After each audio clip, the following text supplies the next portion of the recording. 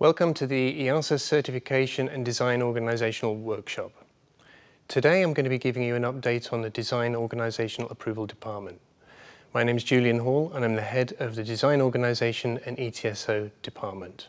So the content of today's presentation is in three main tranches. The first one is on organisational changes, where I'll be talking about the CT Adjust programme and changes to the DOA department or the CT3 department. Secondly, we'll be looking at DOA statistics, and there we'll be looking at the trends for design organisational approvals and the trends for alternative design organisational approval procedures.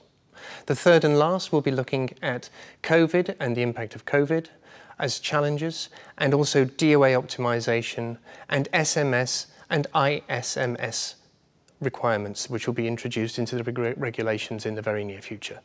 So the first thing I would like to talk about today is the Certification Adjust program. We were in a position to try and improve the efficiency and way we worked within the Certification Directorate.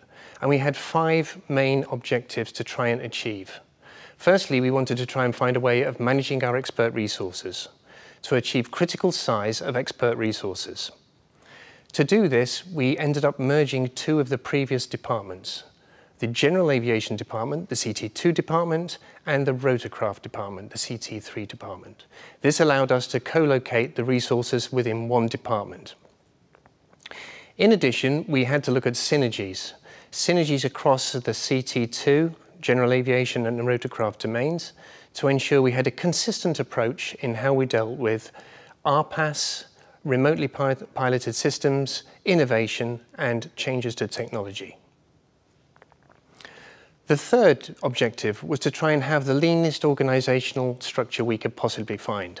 And to do this, we have found a way of reducing the number of departments within the Certification Directorate by one, and also reducing the number of sections by one.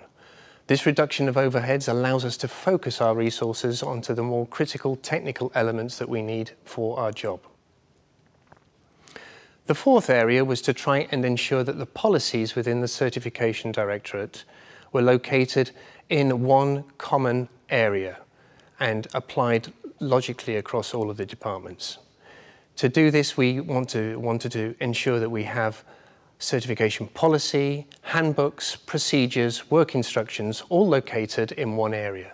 And to do this, we have done that via the CT5 department, a new department that is going to look after those areas.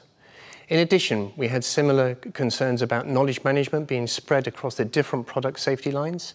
And once again, we've centralized these in one department, the certification CT5 department. So what I would like to show you now is firstly, the outcome of the CT Adjust program plus the recently applied CT mobility of managers. And this chart is valid as of January the 1st, 2021. And what I would like to do is to start from the left-hand side of the chart with CT1, which is the large aeroplanes department. In the large aeroplanes department, there has been no significant change, but we do have a new head of department. The new head of department is Mr. Michael Singer, and he takes over from Ludovic Aron, who was the previous incumbent Ludovic, for your information, is now our EASA representative in Washington, D.C., where he started on September the 1st. As I mentioned before, the CT2 department that you see is the result of merging the CT2 General Aviation and CT3 Rotorcraft departments into one department. That department is General Aviation and Vertical Takeoff and Lift. This new department is managed by David Solar. The CT3 department was formerly known as CT6 and is headed up by myself, its design organisations and ETSO. There are no fundamental changes to the structure of the department. Nevertheless, I would like to highlight that the former manager, Mr. Markus Görnemann, is now a full-time deputy director supporting Rachel Daeschler in her duties as certification director. For certification CT4, we have Environment and Propulsion Systems, which is now managed by Frank Steffens. Frank Steffens moved from the International Cooperation Department in SM Directorate this summer and has taken over from Michael Singer on that role. And the final department is the CT5 department. In the CT5 department, as I indicated before, we've centralized our policies and we've centralized the rulemaking and they're also responsible for safety information and safety directives. In addition, for consistency, we have the chief experts and the chief PCMs reporting directly to the CT5 head of department, who is Mr. Dominique Roland. There is also a functional link between the chief experts and the chief PCMs to Mr. Alain Leroy. Mr. Alain Leroy is now reporting directly to the executive director and is the chief engineer of the agency. And last but not least, we have the director's office, which is headed up by Gregory Liev, and he is responsible for supporting the certification director on all matters related to business in the certification directorate. Moving slowly on to the Department of CT3. We also underwent a management mobility change in accordance with local policy for rotation of managers in October the 1st of this year. So it's a very recent change. We have a new management team and underneath myself as head of department, we have Juana Anton, who's taken over as CT31 for design organizations, policy and procedures.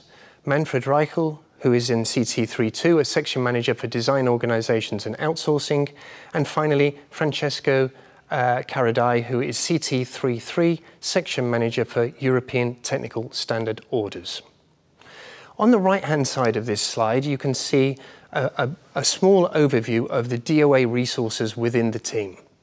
Within the department, we have approximately 36 staff, and supplementing those 36 staff that are local, are a number of National Aviation Authority resources which are part of our partnership agreements with national aviation authorities. The main providers of resources are the Austria, the Netherlands, Italy and Germany.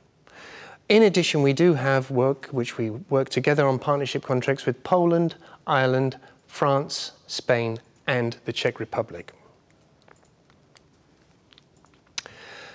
I'd like to move now to the statistics in DOA and I wanted to have a, a look and, and, review with you the trends year by year over the last six years for the DOAs under active EASA surveillance.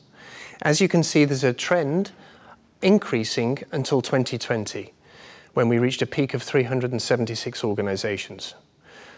Following that in 2021, there is a reduction to 323.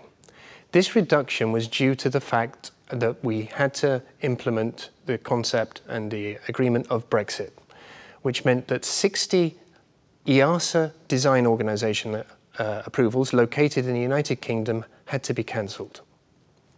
So there is a reduction in the number of organisation approvals of approximately 15%. Nevertheless, the workload has not reduced in the same linear manner because many of those approvals were smaller design organisation approval holders who had a lower activity. On the right-hand side of the slide, you can see a split of scope of work regarding the DOA approvals that we have. So the vast majority of DOA approvals we have are uh, STC, supplemental type certificate holders, and repair.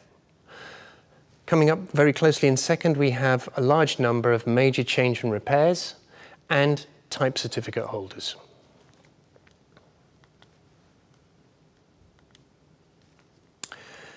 So even though we had the impact of Brexit, we do notice that there is a continued upward trend for new applications in the field of design organizational approvals. And as you can see, the trend hovers around 30 new approval applications per year. This year, we've already reached 16 new applications, which is on track to reach the figure of around 30 by the end of the year, which indicates a very steady growth in the field of design organizational approvals.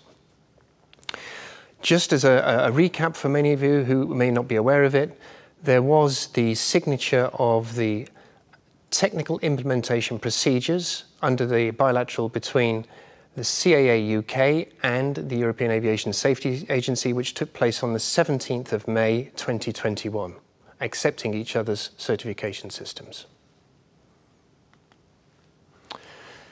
This map is just to show you very briefly that there is a, a, a, relatively even distribution of DOA holders in Europe. The vast majority are in France and Germany, and obviously the UK has no EASA located uh, DOA approval holders anymore. And finally, on statistics, just uh, it would be remiss of me not to mention alternative procedures to design organisational approval and their trends. We do see a trend of new applications reducing over time. So over the last six years, there is a slow reduction, but there is still a gradual increase in number of ADOA holders that we are responsible for. And at present, it is uh, standing at 244 organisations. The third section of the presentation today, today looks at the challenges. And the principal challenge we've all had to face has been COVID. For the industry and for the authority, this has been a huge challenge and it's cascaded through the aviation industry and down to design organisational approvals. The first three bullets on this slide are related to COVID. We have had to, in the agency, adapt our way of working to WebEx, Microsoft Teams, Zoom, Home Office, to adapt and to work with the new issues that we have with COVID.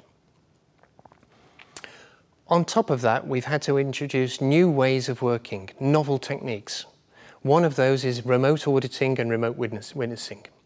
There is a separate presentation on this, which will be covered by Mr. Claudio Caruso during this workshop, and we would advise that you have a look at that. There's some very interesting pragmatic experience from our last months in the COVID crisis.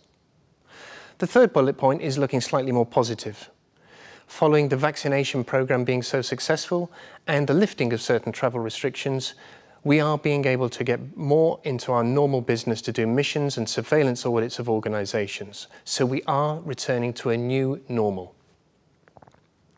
The last two bullet points cover DOA optimization and SMS and ISMS implementation.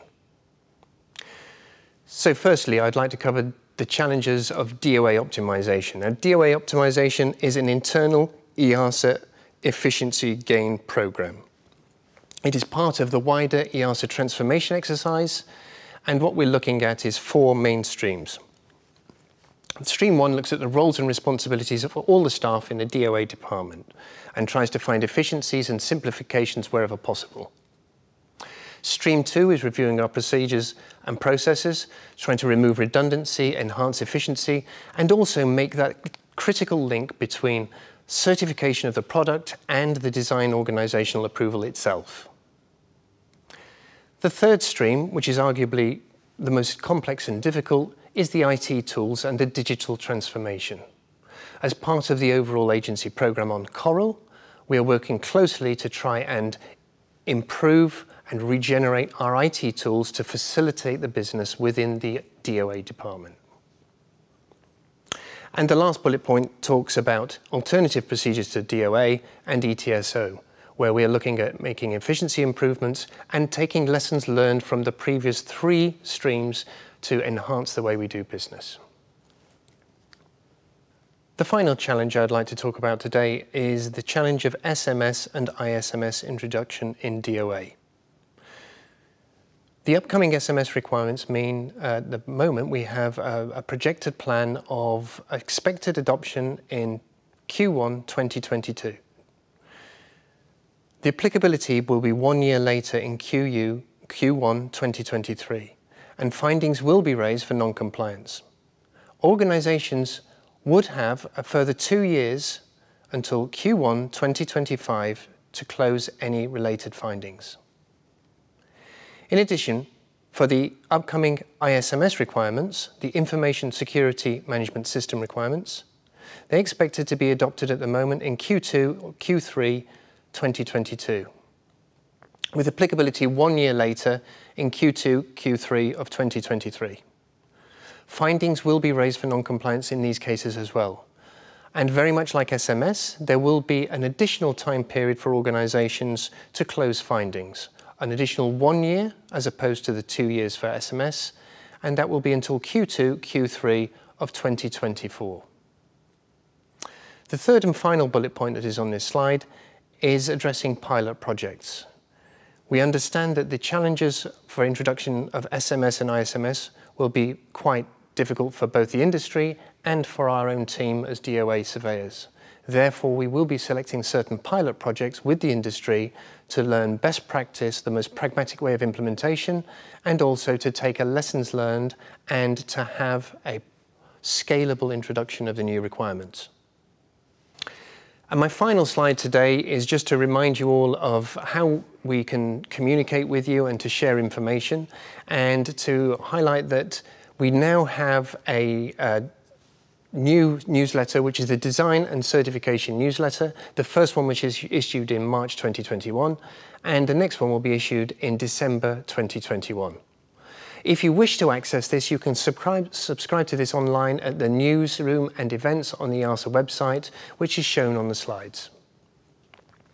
And lastly, for next year, we're hoping that we can get back to a much closer normality that we're used to, which means we're hoping to have a minimum of a hybrid event or preferably a full face-to-face -face meeting in 2022 to replace the DOA certification workshop WebEx version uh, online event that we have this year.